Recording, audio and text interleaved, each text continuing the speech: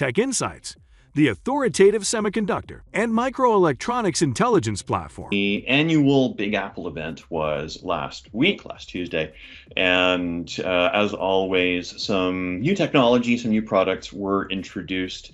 Um, I mean, there's a lot of hype, and it's it is worth talking a little bit about some of the technical innovation that we are seeing in uh, specifically in the new iPhone, iPhone 13.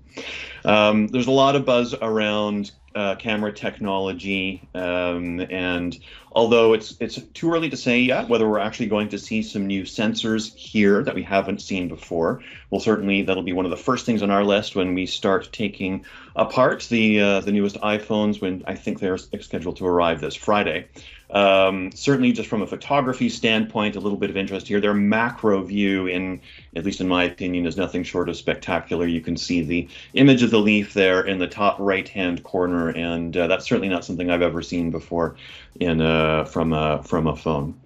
Um, but diving into some more technical details in the bottom left-hand corner, you can see uh, the latest uh, processor going into the iPhones. Now, this was largely expected. Um, there was some early rumors that we would see one of Apple's new M-class chips showing up in the iPhone.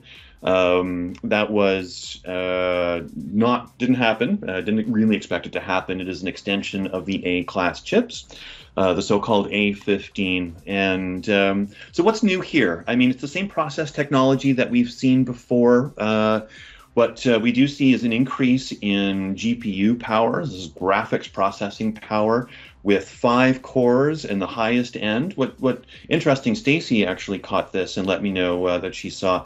Um, there are actually two flavors of the A15 processor. One with five GPU cores, one with four. Um, so, uh, what does the five core mean? It just means that there's going to be higher performance for things like gaming, and it could be that some of the video production uh, capabilities take advantage of the um, parallel GPU cores to um, speed things along when you're when you're doing your video processing. What's interesting, if you um, follow what's going on in machine learning circles, GPU processor cores or units are actually really, really good at doing things like machine learning. Um, and so, what we may end up seeing in uh, in Apple ecosystem is these GPU cores being leveraged more and more for machine learning. However, as we switch to the M class cores, we might actually see some dedicated um, dedicated processing specifically for machine learning. We're not there yet with Apple. What else are we seeing? Uh, very top center a massive one terabyte of memory in the biggest iPhone. Now, to be honest, I can't actually really understand what on earth you would need one terabyte of data for. Maybe video production. Um, however, it is extreme high density. I'm looking forward to seeing who they are using. Um, but we're also seeing, or I guess maybe hearing, that um, because of the semiconductor shortage, the highest um, capacity, memory capacity iPhones are actually being delayed and delayed again. So shipping dates from everything that I am reading in the one terabyte range are now being pushed well into October um, because of part availability. So uh, it even impacts Apple with all of their buying power. The other thing that I wanted to mention is the the the next, I guess, flavor of bands in the 5G space. So, again, 5G is the next generation after 4G. This is the cellular data communication that all of our phones use. Um, 5G has two flavors, and, and the newer and perhaps most more important band are the so-called millimeter wave. These are very, very short radio waves, doesn't really matter um, but has the potential to be really, really fast from a data perspective.